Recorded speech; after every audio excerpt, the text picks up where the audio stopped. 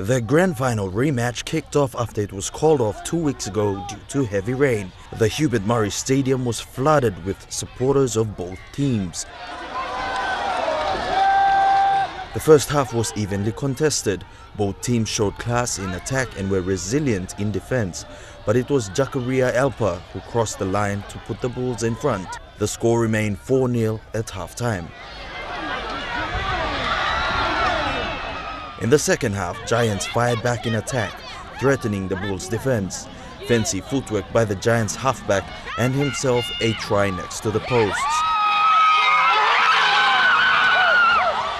A successful conversion kick saw the scores at 6-4.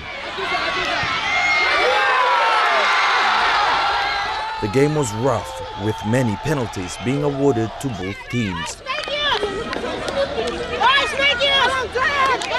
The Giants' aggressive defense was what got them over the line. They held on till the final hooter to win 6 points to 4, claiming this year's NCD Governors Cup and walking away with a total of 15,000 kina. Elijah Levet, National EMTV Sports.